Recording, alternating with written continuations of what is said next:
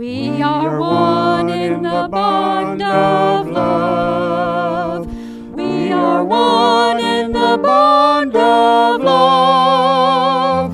We have joined our spirit with the Spirit of God. We are one in the bond